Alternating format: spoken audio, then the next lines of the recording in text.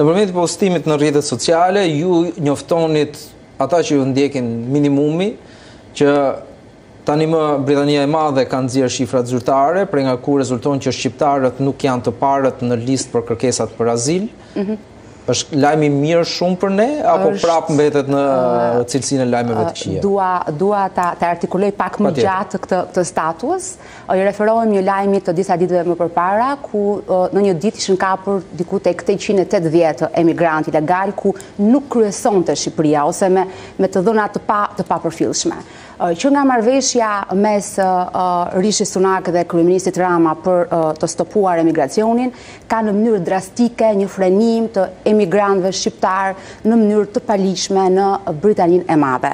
Diku numri i ekstradimeve që kanë ardhur në Shqipëri, që janë kthyer me vullnet edhe edhe me detyrim, janë deportimet, është tek 9000, 9000, 10000 shqiptarë.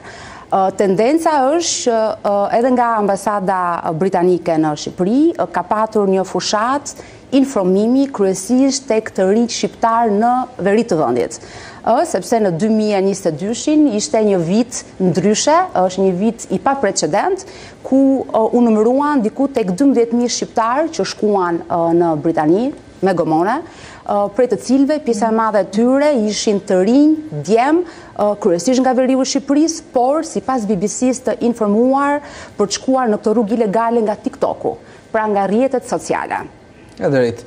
Dhe këtu hyn në argument edhe zonja Vila e cila reagon dhe thotë që nuk duhet të përmendet litari në shtëpinë e të varurit, thënë në formë popullore, por ajo që ju shkruani është fakti që nuk duhet patjetër që të kujtojmë emigracionin aty ku janë vende në varfëri apo në luftë. Shqipëria bën pjesë te ndonjë nga kjo kategori?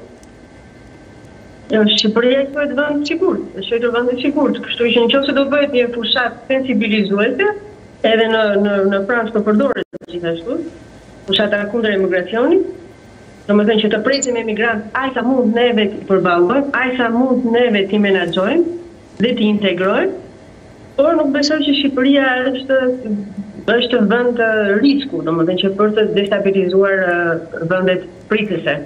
Dhe Franca ka një një ka një një numër jo të konsiderueshëm në krahasim me Greqinë apo me Italinë, Gjermaninë të emigrantëve shqiptarë.